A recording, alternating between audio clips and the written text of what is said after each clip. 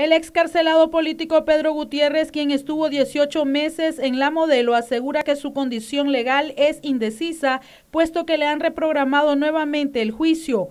Recordemos que yo fui capturado desde el 4 de julio del 2018 y ayer precisamente tenía nuevamente continuación del juicio, el cual este, siguen siendo pruebas este, infundadas porque se contradicen en todo, ¿verdad?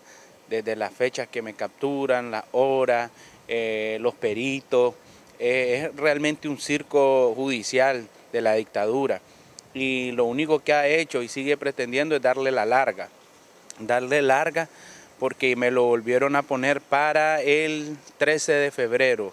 Tengo nuevamente continuación del juicio, espero en Dios de todo corazón pues que ya esto finalice, ¿verdad? Porque no deja de traer zozobra en mi vida, en la de mi familia, en la de mis amistades que siempre me preguntan y me dicen, Pedro, ¿y qué pasó con tu caso?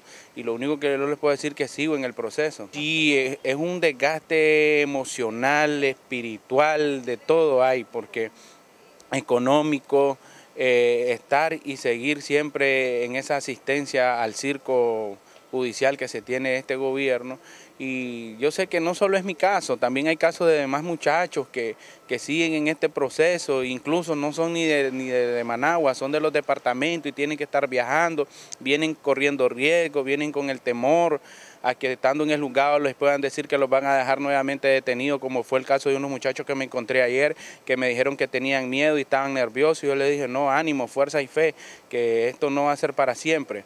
Espero pues que esto acabe pronto para todos nosotros los escarcelados políticos que sufrimos, que sufrimos esa persecución política. El juicio en contra de Pedro Gutiérrez será este 17 de febrero. Para Noticias 12 Castalia Zapata.